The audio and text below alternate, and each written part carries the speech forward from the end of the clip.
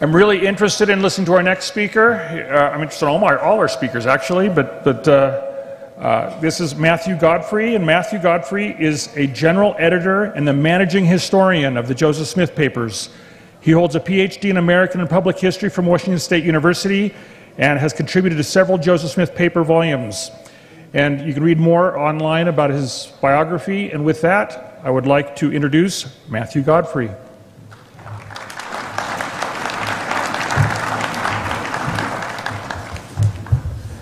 Well, thank you very much. It's a pleasure for me to be here with you all today. I'm grateful for the opportunity that I have to come and talk uh, with you for a few minutes about uh, some of the research that we've been doing uh, in the Joseph Smith papers. Uh, it's a little daunting to follow uh, the Welches and to go from the lofty plains of uh, Christ's parables down into the sordid world of John C. Bennett. But that's what we're going to do now. Um, I do think it is valuable to study a little bit about um, the John C. Bennett incident in the church and Joseph Smith's reaction to it because I think it's a good window into Joseph Smith as a leader and what he did uh, when facing opposition and conflict from within the church. And so I hope that some of the things that I say today will be useful uh, to you.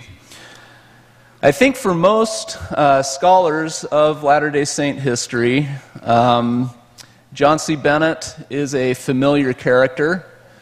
Uh, he, of course, uh, his rise to prominence in Nauvoo, Illinois, um, in 1840 and 1841, and his equally dramatic fall from grace in 1842 has been well chronicled by historians.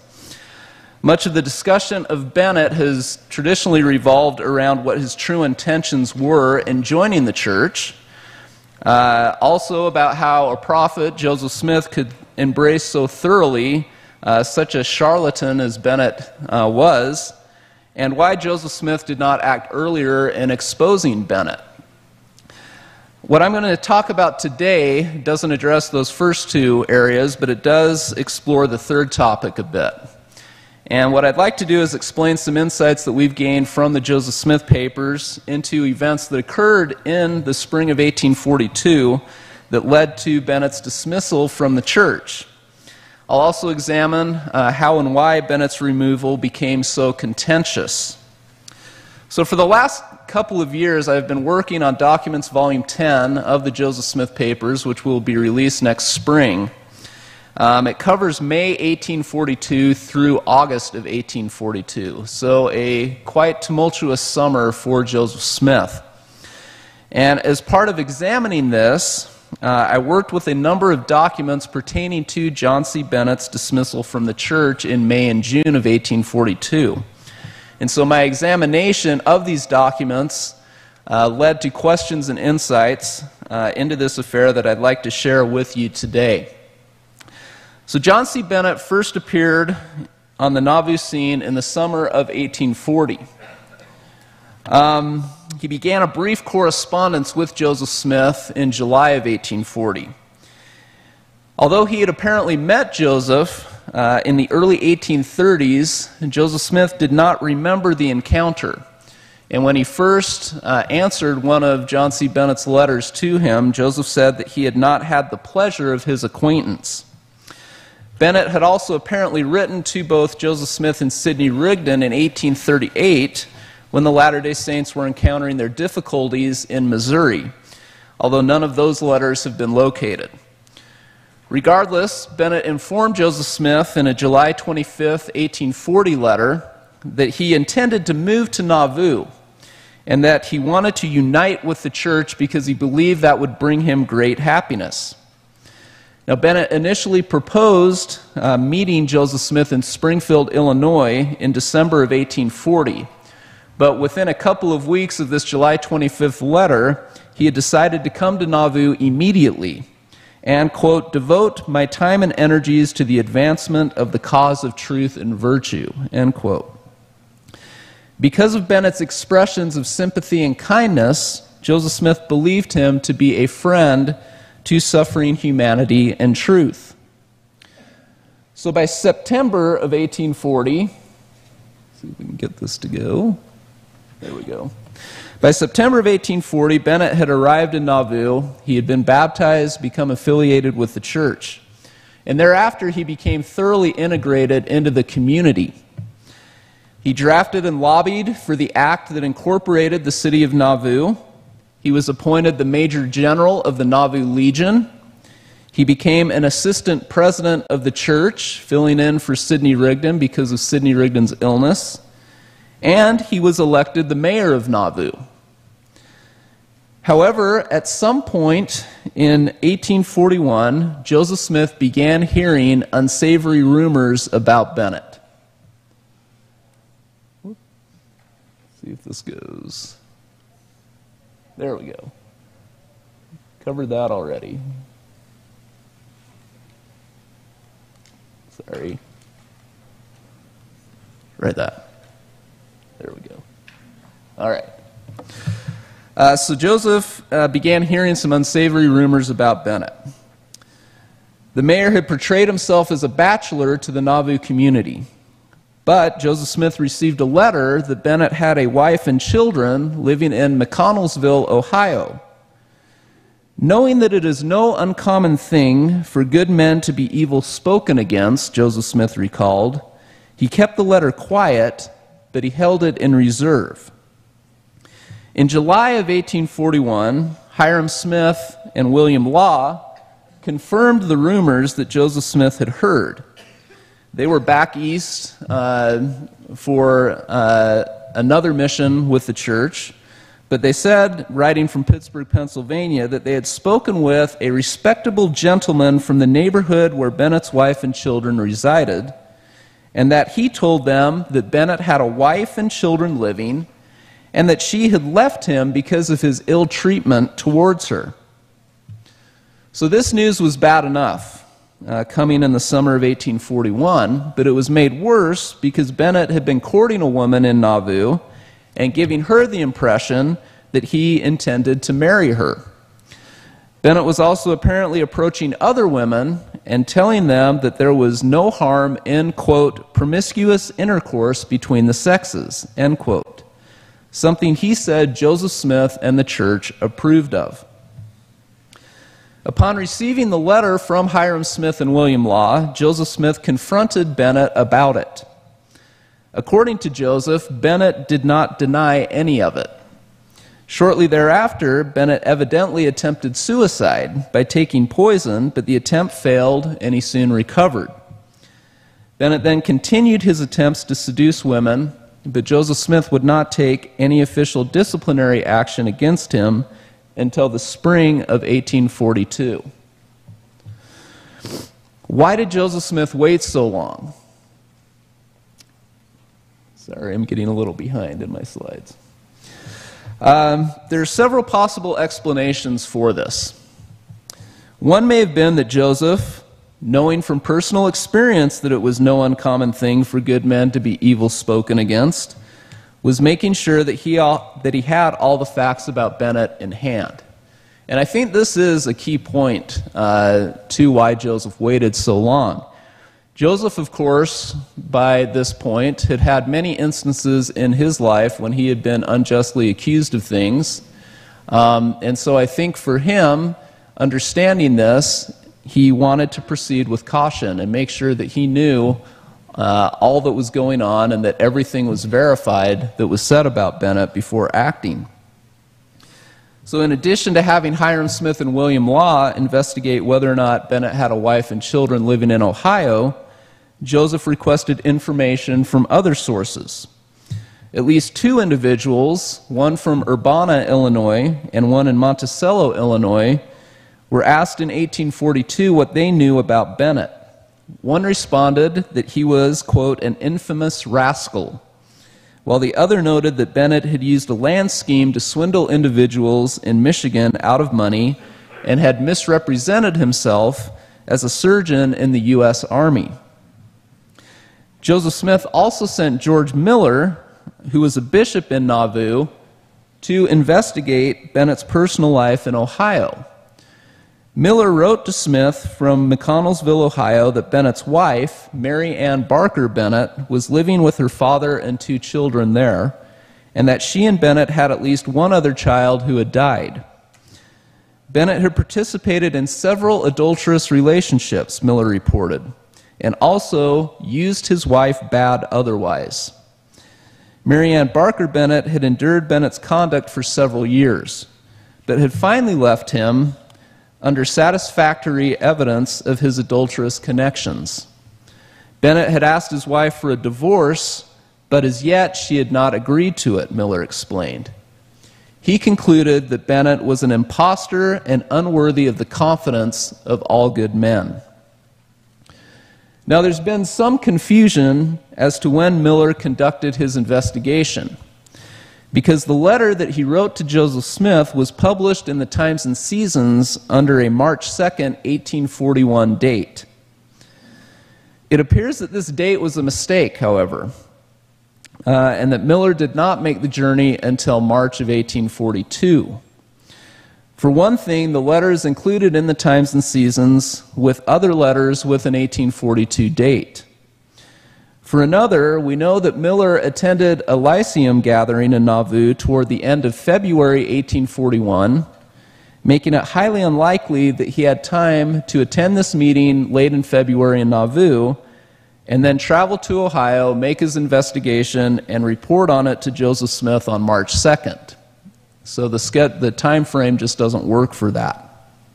However, we also know that in early 1842, Miller was sent on a mission to Kentucky, making it highly likely uh, that he was able to visit uh, McConnelsville, Ohio at this time. Miller did not return to Nauvoo until April of 1842, and because McConnelsville is located in southeastern Ohio, fairly close to the border with Kentucky, it would have been easy for Miller to travel the short distance there to make his investigation. So it thus appears that Miller did not complete his reconnaissance until March of 1842, just a few weeks before Joseph Smith took decisive action against Bennett. Now, another explanation for why Joseph did not act sooner was that he was trying to give Bennett a chance to reform. Only after Joseph had done all in his power to persuade Bennett to amend his conduct, and only after determining that Bennett was not willing or able to reform, did Smith and other church leaders withdraw fellowship from him.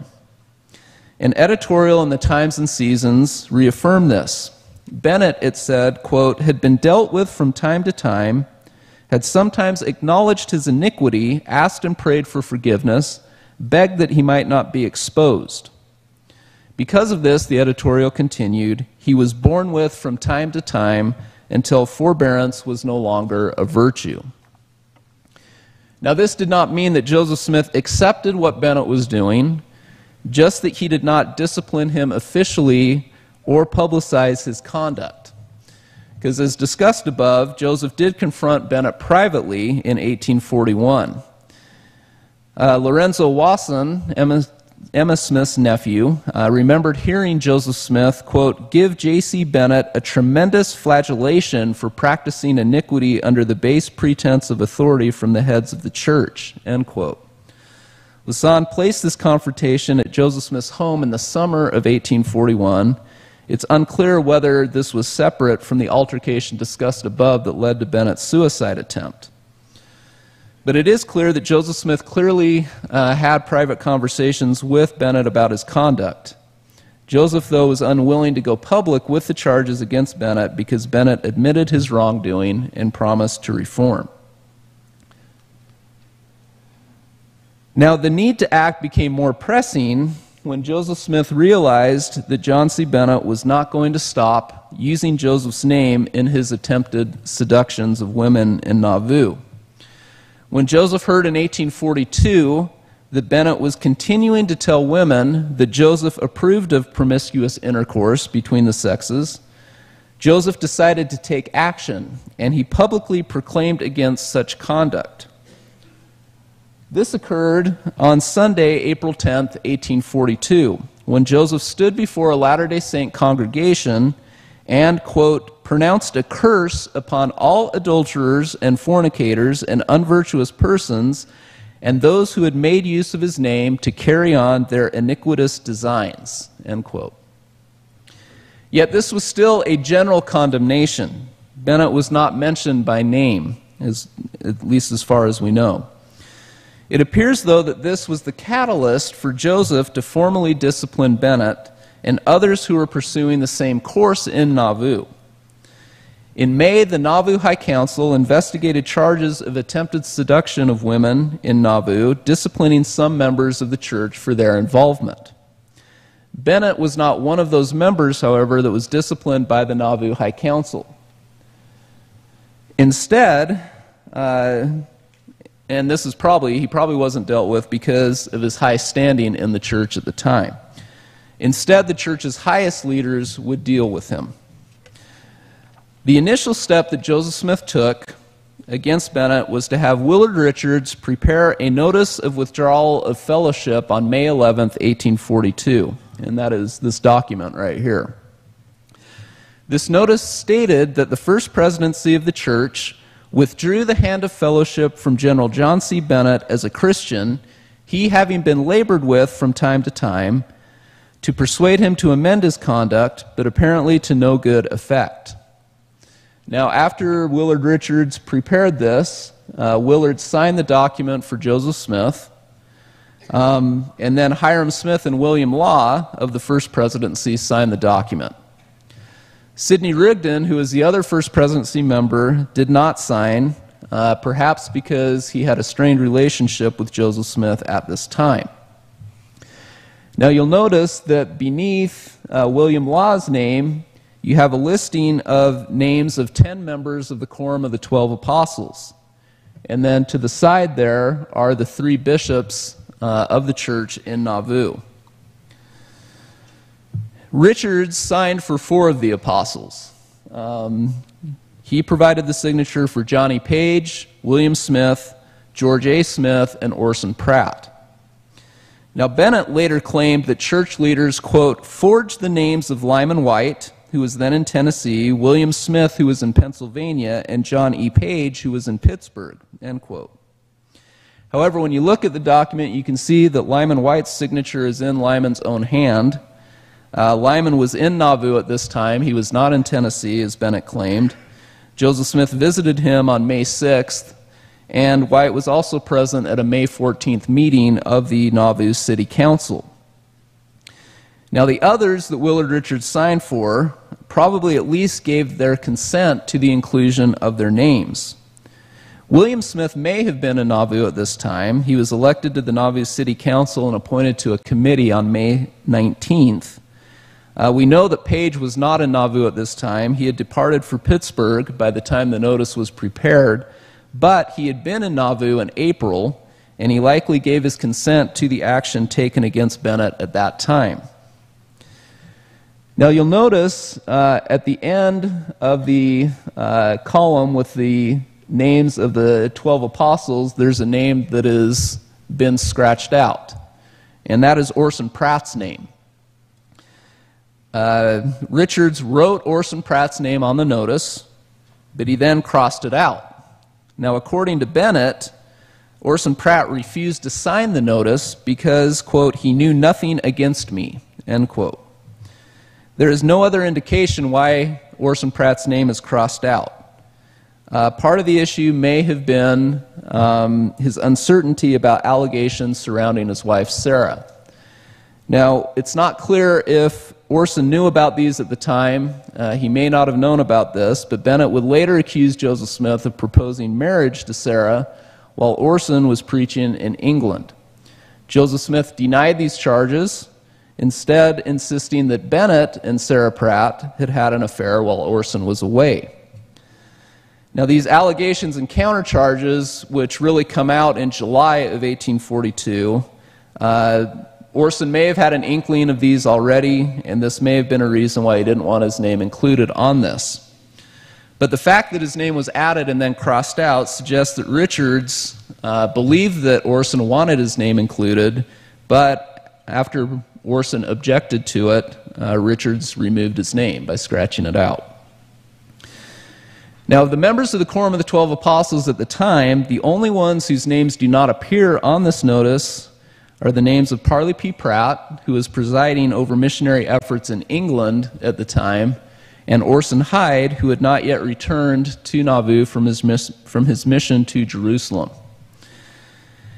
The fact that those two names don't appear on this strengthens the argument that Richard sought permission from the apostles to include their names, that he didn't just write names on there like uh, Bennett accused him of doing. Because of the length of time it took to communicate overseas, Richards would not have been able to obtain approval from Parley P. Pratt and Orson Hyde before creating the document but he was presumably in contact with all of the other apostles at some point close to the time that the notice was prepared. When this notice was presented to Bennett, and what Bennett believed it meant, is difficult to ascertain. According to Bennett, he voluntarily withdrew from the church on May 17, 1842. And remember, this notice is dated May 11, 1842. And Bennett said that he withdrew from the church not because he had committed any uh, improprieties, but because he had joined the church for the sole purpose of exposing Joseph Smith as a fraud. After he had withdrawn, Bennett continued, Joseph Smith and other leaders prepared their, quote, Mormon Bull of Excommunication, this notice of withdrawal of fellowship, and dated it retroactively to May 11th to make it seem as though they and not Bennett had severed ties. Now, Bennett's claim that the notice was not prepared until after May 17th is contradicted by an affidavit that William Law swore. Law declared that he signed the notice uh, several days before Bennett withdrew his membership. In addition, it's clear that Bennett knew that he was in disharmony with other church leaders by May 17th. William Law intimated to Bennett that church leaders had withdrawn fellowship some four or five days after May 11th, while Hyrum Smith confronted Bennett about Bennett's alleged immoral conduct on May 17th. Bennett also told the Nauvoo City Council on May 19th that he hoped to be restored to full confidence and fellowship and my former standing in the church, suggesting that he knew about the May 11th withdrawal of fellowship by that time. However, church leaders apparently did not show the actual document, uh, the notice withdrawing fellowship, to Bennett until May 25th. According to a May 26th entry in Joseph Smith's journal, Dr. Bennett was notified the day previous that the First Presidency 12 and bishops had withdrawn fellowship from him. Bennett was told that church leaders would publish the notice, but after he humbled himself and requested it, they told him that they would withhold publication at that time. Now, what this withdrawal of fellowship actually meant to Bennett and to Joseph Smith is also the subject of different interpretations. The church today has very precise terms for different types of discipline. Excommunication is a formal removal of an individual from the church. If someone is disfellowshipped, he or she remains a member but with a temporary suspension of membership privileges. In 1842, terms were used a little more loosely. The phrase cut off was used more frequently than excommunication in describing a person removed from the church, saying that leaders have withdrawn fellowship from an individual could mean that the person was excommunicated, but in a few cases, uh, it seems to have also meant that the person was not excommunicated but remained a member of the church. In 1840, for example, church leaders withdrew fellowship from, from Almon Babbitt but Babbitt apparently remained a member of the church. He was not cut off from the church. Bennett himself called this uh, fellowship withdrawal notice the bull of excommunication, but he also claimed that he was not cut off from the church until June 18th. Because Joseph Smith also instructed James Sloan to allow Bennett to withdraw his name from the church record if he desires to do so on May 17th, it may be that Joseph did not regard this fellowship withdrawal as an excommunication. So, although it's not readily apparent what the withdrawal of fellowship meant, it is clear that by June, all parties no longer regarded Bennett as a member of the church.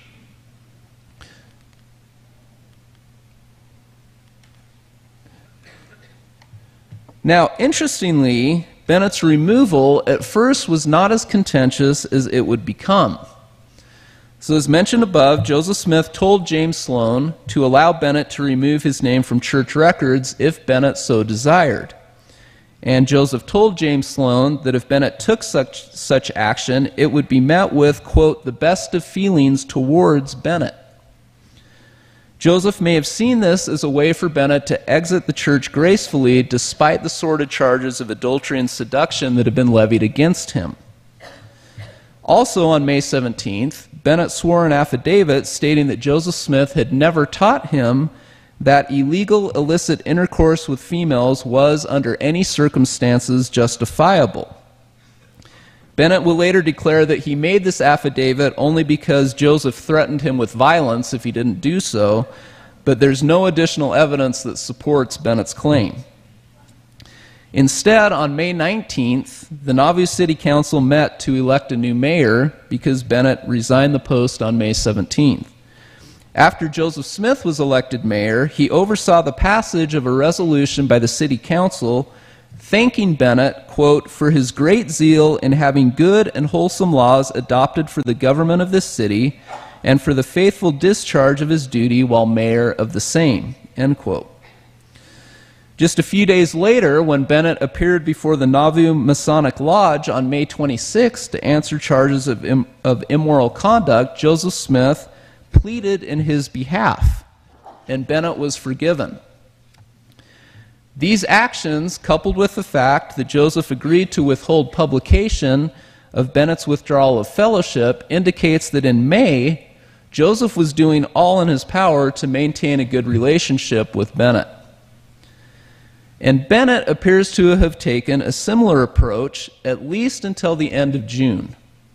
On June 14th, for example, Bennett wrote a letter to Simeon Francis, the editor of the Sangamo Journal, uh, to defend the Nauvoo Charter and the Nauvoo Legion against criticisms Francis had made in the journal.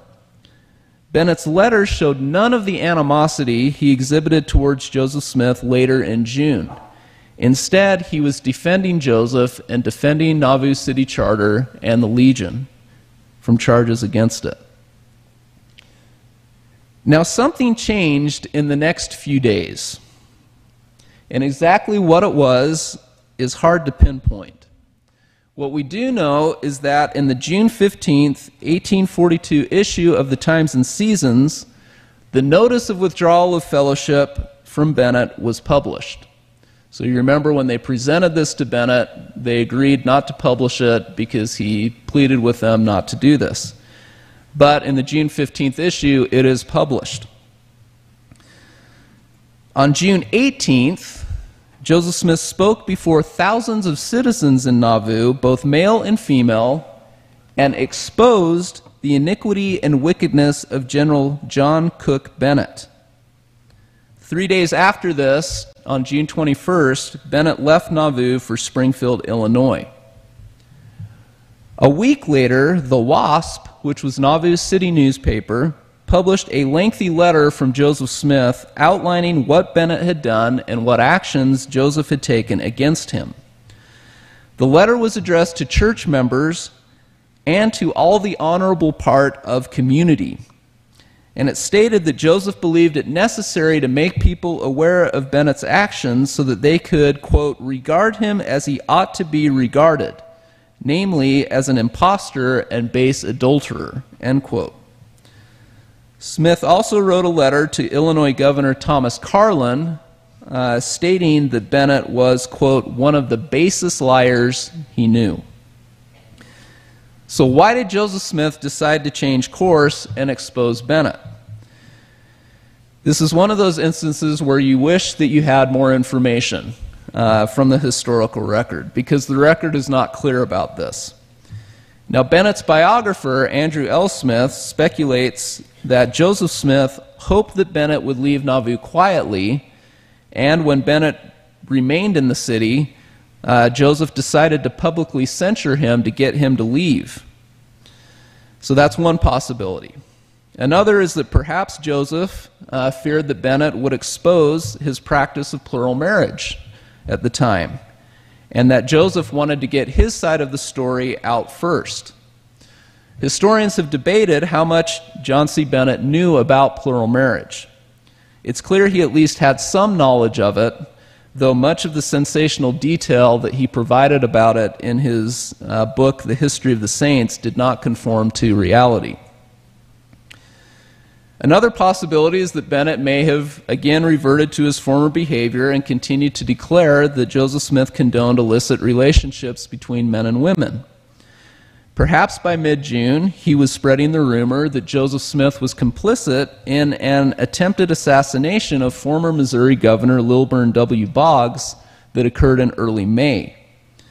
Uh, Bennett later makes this charge in one of his letters, so he could have been talking about this uh, before uh, writing the letter.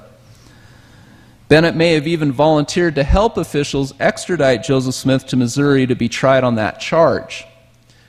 Joseph himself stated in his June 23rd letter about Bennett that he had been credibly informed that Bennett, quote, has colleagued with some of our former wicked persecutors, the Missourians, and has threatened destruction upon us, end quote.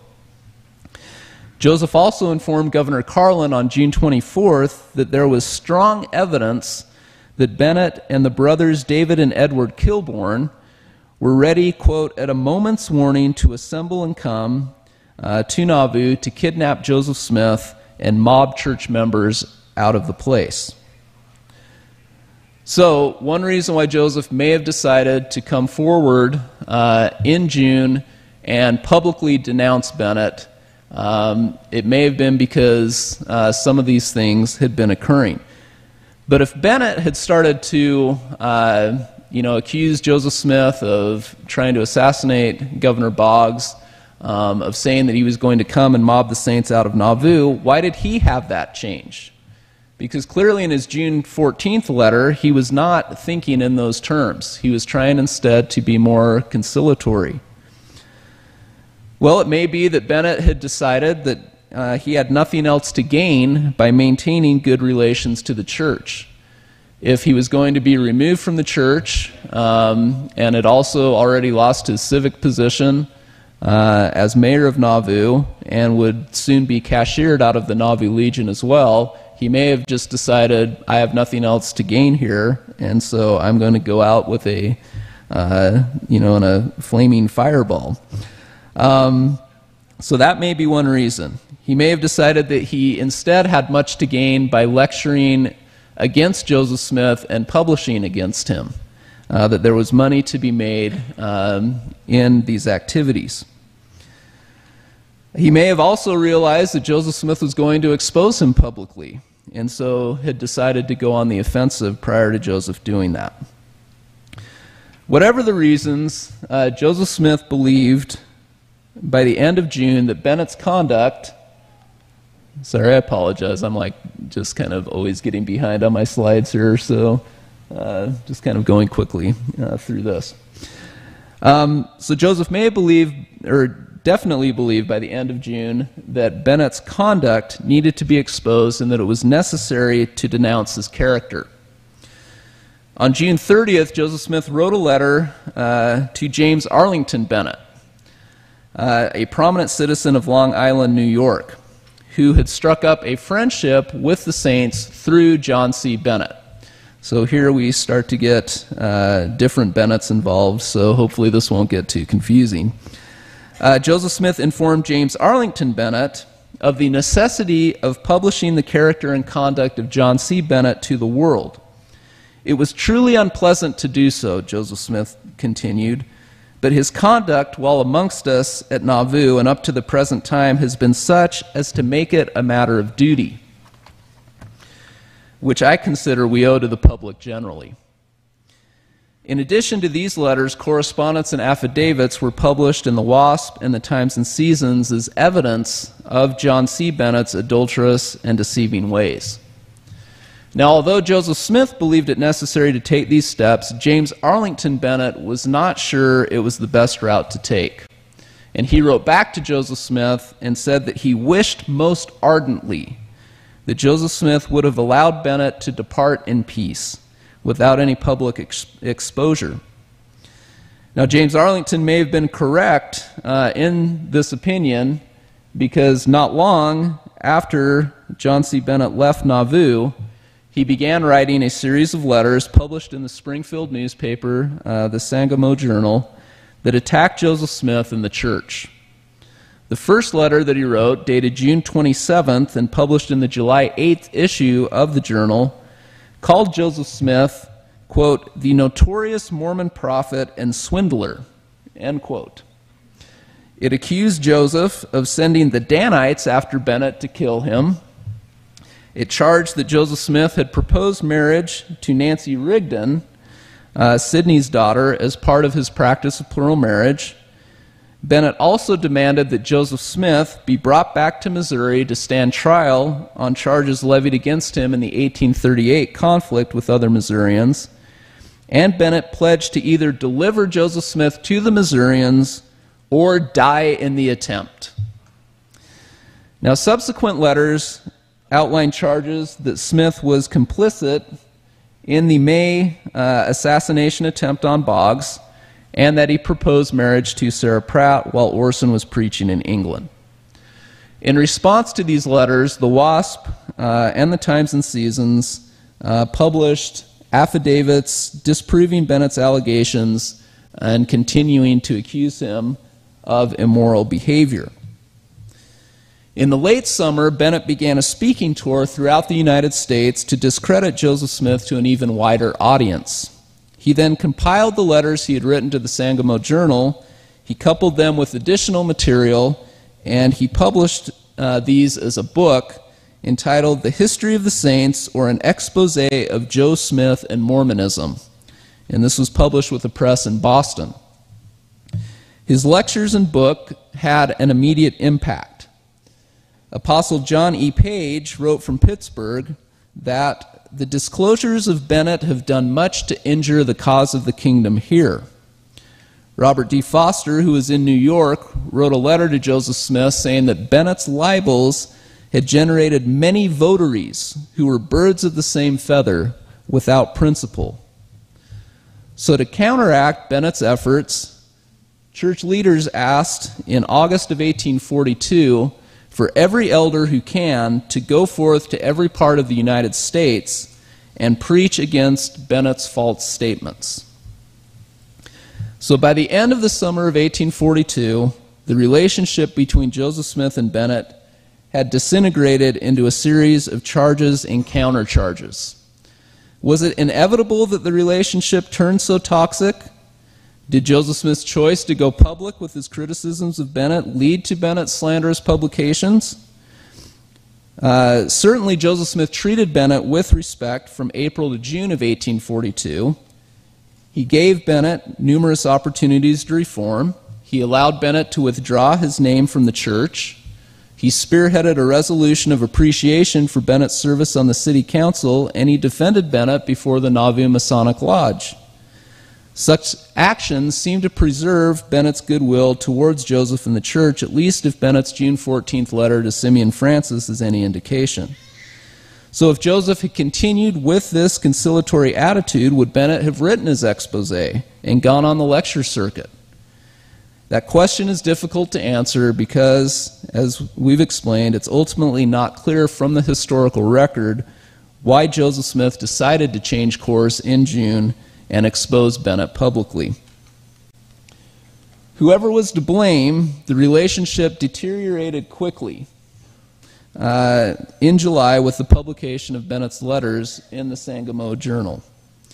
And Bennett's animosity had a lasting effect. His lurid descriptions of polygamy colored the way that the general public viewed the practice of plural marriage in Nauvoo and his efforts to get Joseph Smith extradited to Missouri led to attempts to arrest Joseph Smith in the summer of 1842, and Joseph eventually had to go into hiding in August of 1842. Retracing the weeks before his departure from Nauvoo helps illuminate the timeline of Joseph Smith's actions against him and possible reasons why Joseph waited so long to expose him. They also highlight that with different actions from both parties, the difficulties that developed may have been avoided or at least mitigated to some extent. From a relatively brief period of association with the saints, essentially from September of 1840 uh, to June of 1842, Bennett had a large influence on their history. Some of it good, but most of it bad. Thank you.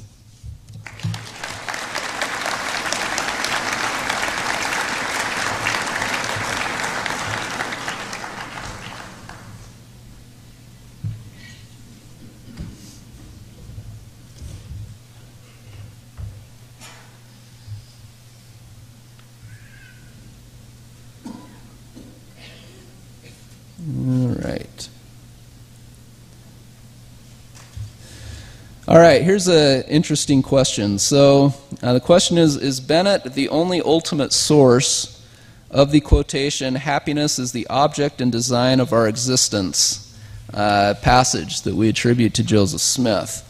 Um, and what are the other sources, if any?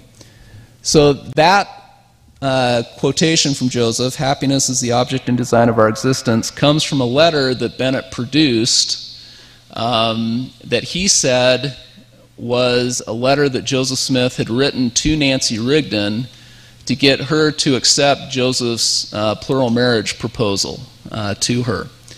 And so, in the course of that letter, as Joseph is uh, laying out things, he talks about the uh, importance of obedience and then uh, has the quotation in there happiness is the object and design of our existence. Um, so Bennett says that this is a letter that he uh, that he got a copy of that Joseph Smith had written to Nancy Rigdon. Now, some scholars, um, including uh, Gerrit Dirkmaat, who has published an article about this, um, believe that it is possible that Bennett forged that letter. Uh, Bennett had been accused in previous times of forging other documents. And so it wouldn't have been a stretch for him to have forged this letter as well. And I think Gerrit has some good arguments uh, for that.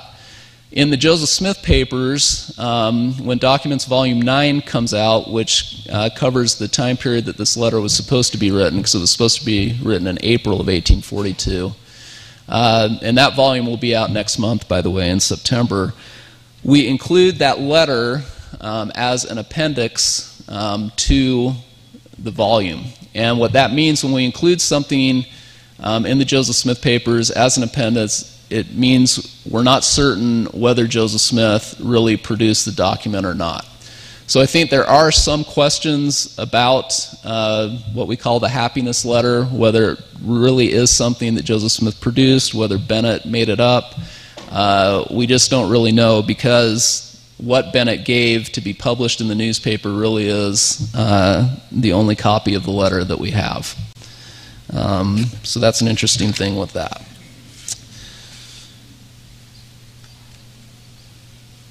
Uh, this is a good question, too. What's, what seems to be lost in the effort to maintain Bennett in good standing is the women who were seduced. Is there any more information on them?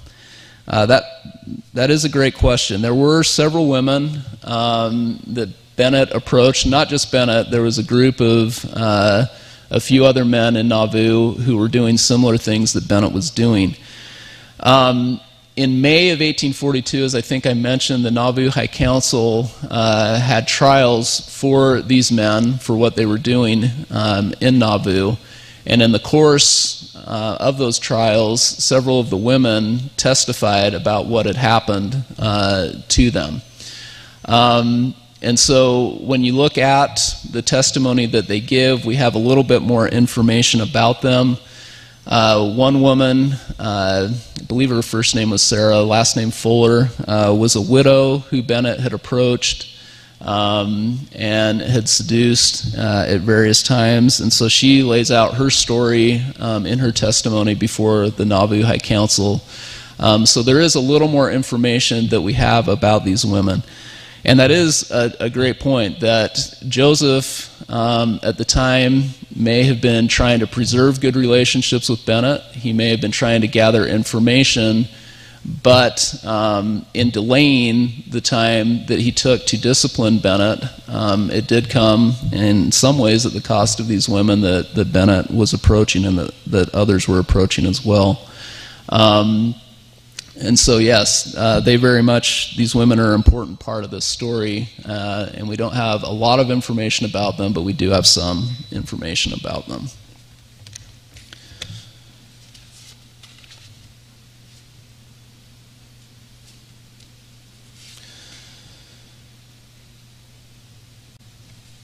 All right, this is this is another interesting one. I'm not sure I have a great answer for this, uh, but I, it is an issue that comes up. So this says, Why do you think the Lord spoke well of John C. Bennett in Doctrine and Covenants, section 124, verses 16 and 17? Since Bennett was apparently already abusive, neglectful, and even unfaithful to his wife and family back in Ohio. Uh, that's a great question, and I think in part it uh, kind of touches on revelation. Um, and when revelation comes to someone and what part uh, someone's existing knowledge of a situation might have on a subject. Um, I believe, if I'm not mistaken, that uh, Brian Hales, who I think is in the audience, has written about this um, in, in a few places and uh, has some good arguments to make about this. I think if you read what is said about Bennett, um, it says essentially that if Bennett will be faithful and continue faithful, he'll receive great blessings. And that really, I mean, that can be said for, for all of us that if we continue faithful and do the things that we're supposed to do, that we will receive great blessings.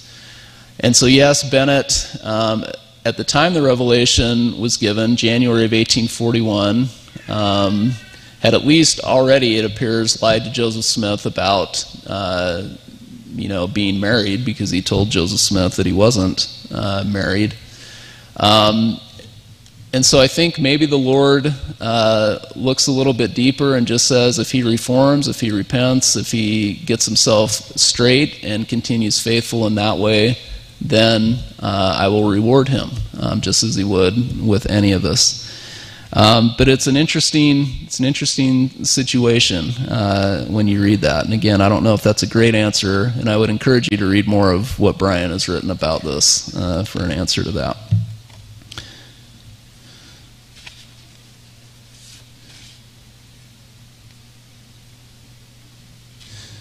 All right, this says, uh, please clarify in relation to George Miller's investigation, did a Times and Seasons newspaper dated to 1841 contain letters from 1842?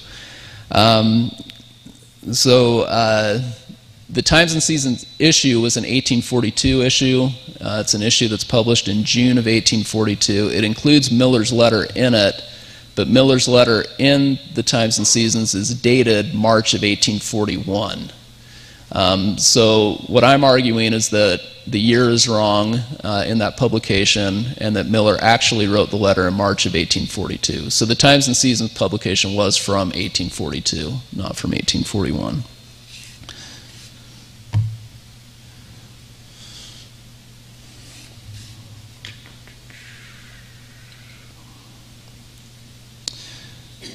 Uh, so this one, uh, kind of covering uh, Bennett's charge that Joseph Smith uh, sent the Danites after him. Uh, says, Is there good evidence that the Danites actually existed and took actions in defense of the church and revenge actions, or are the, are the Danites mostly folklore? Uh, so it is clear that there was an organization that existed in Missouri, um, formed uh, in 1838, that were known as the Danites. Um, that this was an organization that uh, kind of its purpose was to defend the first presidency uh, against outside charges and from dissent within the church. Um, if you look at the Joseph Smith Papers uh, website, um, there's a document on there that's the Constitution of the Danites. Um, and we have a historical introduction to that that kind of outlines the history of the Danites. If you go to our published volume, uh, volume six of the document series, in some of our introductions, we also talk about the Danites. And then Alex Baugh uh, just barely published a piece as well uh, about the Danites in Missouri that you can go to for more information on them. The one thing that we do know about the Danites is that they existed only in Missouri. We don't know how much knowledge Joseph Smith had about the activities that they were doing. He had some knowledge of the Danites, he knew that they existed. Uh, it does not appear that Joseph directed their activities. Uh, Sampson Avard, um, who was the head of the Danites, seemed to have done several things on his own accord. Um, and then once the difficulties in Missouri ended, um, the Danites seemed to go out of existence but they remain in kind of this folklore sense. There's always kind of this notion that there are these uh, avenging angels that church leaders will uh, sick on people. In Nauvoo, uh, no Danites existed, and so John C. Bennett's charge that Joseph Smith was sending the Danites to kill him uh, has no validity there. Um, the charge will reappear in Utah that Brigham Young uh, had a group of Danites that he would send out to kill apostates and whatever else, but there's no uh, really good evidence that the Danites existed outside of Missouri in that 1838 period. When do you want me to end here? Maybe one or two more. Okay. Briefly. briefly. Okay.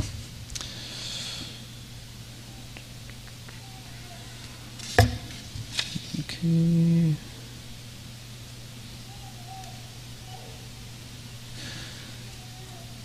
All right, this uh, question also about plural marriage says During this judgment of Bennett, didn't Joseph Smith marry Orson Hyde's wife uh, while Joseph sent Orson to Jerusalem? Couldn't this be part of why Joseph Smith delayed judging John C. Bennett? Um, so we don't have uh, a clear date on when Joseph marries uh, Marinda Hyde as a plural wife. It may have been in 1842 during this period, but it also may have been in 1843 uh, at a later period and after Orson had returned uh, from his mission. Uh, so there is some uh, conflicts about the dates as to when Joseph actually married Marinda Hyde. And so, without knowing for certain when that marriage date occurred, it's hard to say whether this had any influence on Joseph Smith delaying judgment against John C. Bennett. Um, and this, of course, gets into the notion of, uh, you know, John C. Bennett is going around and he's telling women that Joseph approves of uh, illicit in- intercourse uh, between the sexes. At the same time, Joseph Smith's practicing plural marriage. It's clear, though, that Joseph Smith saw his practice of plural marriage as something entirely different from what John C. Bennett was doing. For one, John C. Bennett wasn't sanctioned to go out and uh, have these relationships with women, he was not authorized to do so. Uh, for another, whenever Joseph Smith um, entered into a plural relationship, it seems that he approached family members first, he approached the women uh, themselves, he gave them time to think about whether or not they wanted to enter into uh, the relationship. And this is very different from John C. Bennett going and saying, hey, you know, we can sleep with whoever we want to. Um, and so Joseph himself saw John C. Bennett's actions as very different um, from his practice of, of plural marriage. Okay. Should we end with that? That sounds good. Okay. Thank you much. Thank you.